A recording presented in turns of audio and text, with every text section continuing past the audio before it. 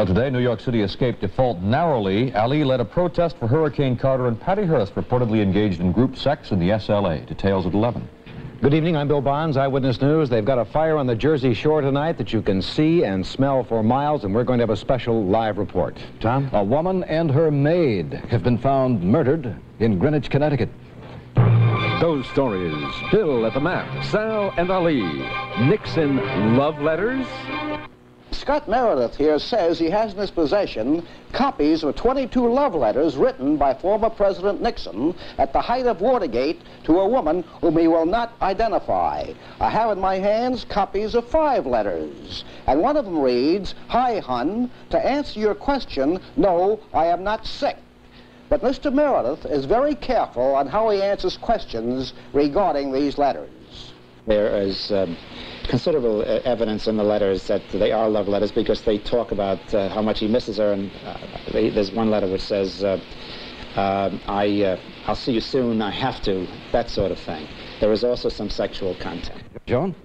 Well, Tom, we went to the area to talk to the people there as well as the police to find out if this kind of thing happens often.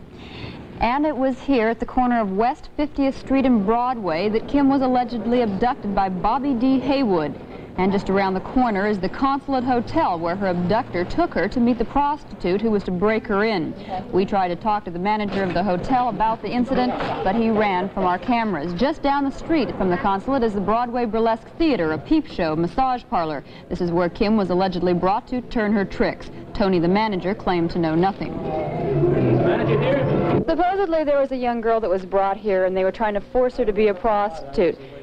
Is this something that happens often, do you know, that, that there are pimps out on the street trying to bring girls in to force them to be prostitutes? We don't take them here.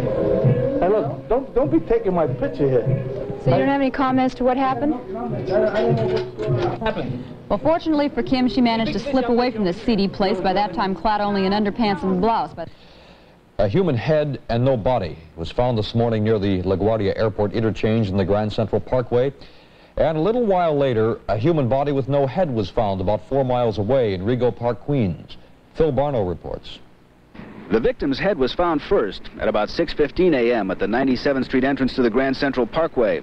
The rest of the body was discovered at about 8 outside the Serio Brothers trucking garage on Maurice Avenue in Maspeth. The medical examiner found no cause of death other than decapitation, no fatal knife or gunshot wounds on the body.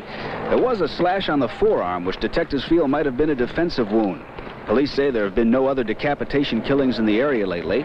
Right now, detectives feel there's no reason to think this was a gangland rubout, but that's one possibility they'll look into. Police describe this as an ideal place to dump a body. Whoever it is that likes to look into windows late at night or early in the morning and fire darts at women alone, he ranges all over southern Westchester County. Yonkers, down to Dobbs Ferry, over to Eastchester, and up here in the town of Greenburgh. Jim Van Sickle, News Center 4. Uh, I came out the door, and there was a, uh, a man holding a gun on somebody lying down right over there and saying, don't move, and the man said, I'm a cop, call the police. Residents on the block expressed no great fear or anxiety about living there after the shootings. They said that all things considered, they don't think their block more crime-ridden than any other. Schools were completely demolished, and efforts are being made to set up some form of schooling system that, uh, in the tent camps. Attempts have been unsuccessful because parents don't want to leave their children. The Minister of Education's only concern is to keep track of the kids so they won't wander into dangerous areas or to get lost.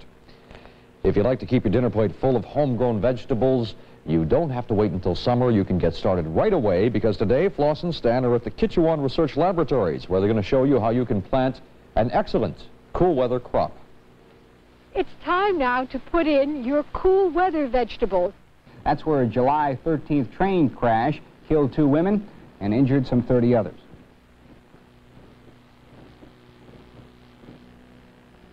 Who says Dynamo works better than Tide? I do. Well, Doc Severinsen got his divorce today, but it cost him the ranch and a whole lot more. The flashy Tonight Show star promised to give his ex-wife their horse ranch in Sussex County, New Jersey, plus $70,000 for her share in some horses and property on a Texas ranch, plus $75,000 a year alimony, plus $35,000 for her attorney, plus $45,000 in arrears, plus life insurance policies worth $168,500, plus shares in a Florida business, plus a Cadillac and a Bentley. Whew. Bill?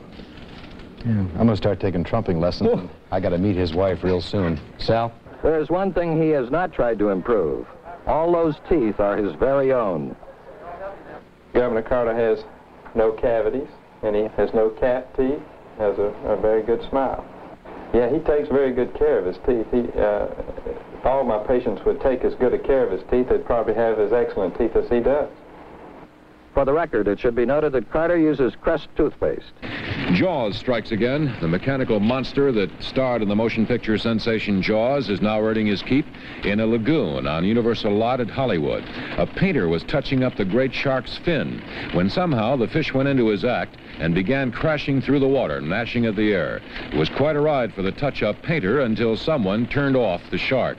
The man may have back injuries. The fish is okay. But for Muhammad Ali, there's a flat no for those who asked him to join a cherry spitting contest in Eau Claire, Michigan. Ali, who lives nearby, reportedly said cherry spitting is against his religion. President Ford's getting some religion in the form of the world's largest tamale, sent to him by a Mexican who remembers how Mr. Ford was given a tamale by crowds outside the Alamo, and he tried to eat it, shuck and all. The man said Mr. Ford should enjoy the 80-pound Titanic tamale if he doesn't eat the shuck. I don't know how long NASA can keep it quiet, but it has found life on Mars in the form of little, yes, green men, and has even conversed with them. Alarmed, it has locked the transcripts away in the national interest, but I've obtained parts of one, and it goes like this. NASA, have you ever tried to reach the Earth? Green men. Oh, yes, we come to the Earth often, but the atmosphere makes us invisible and nobody sees us. So, those of you who have your 30 cent tokens in hand, be glad you do. The free ride may be over. Betty, it is delightful to have you back here for a few moments. You're, you're visiting us for how long? Just this week. I'll be here today and Thursday. Good.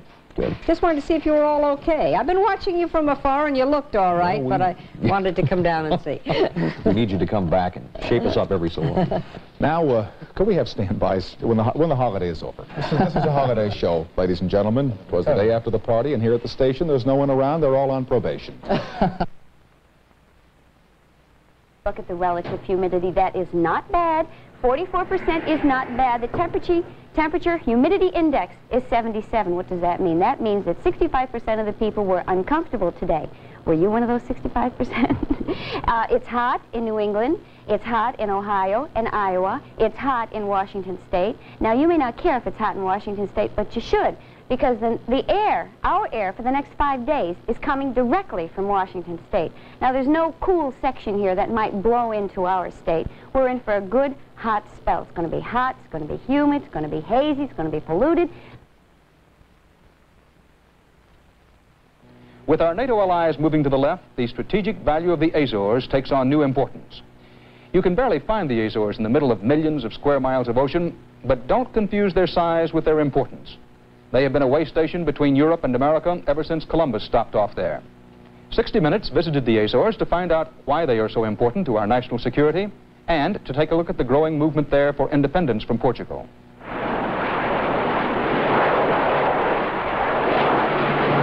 It is a well-known place to a select group of Americans, those who fly our military aircraft. For 35 years, the Azores, docked in the Atlantic Ocean, have been a vital part of our worldwide defense strategy. Uh, the, the purpose behind an amendment like that is that we're not going to waste the clean air that we have because we are going to eventually use it in different parts of the country and it's going to uh, use this resource that belongs to all the people. i Let me say something on this last question. On, I agree with the congressman. This is not an issue in the automobile. The automobile industry, at least Ford Motor Company, has recommended that California have tighter standards so that we could use new technology there to solve that issue and then apply it nationally. So I think the issue, as the congressman's indicated, is more stationary sources from industry. Well, what does Mr. Quarles of the EPA think But about excuse that? me just one Well, I minute. think I that the- I'd like to interrupt and just say one thing that I, I, I can't let Mr. Jensen get away with that fact. The single largest polluter that we have is the automobile. And that's the way it is. Monday, July 5th, 1976. This is Walter Cronkite, CBS News. Good night.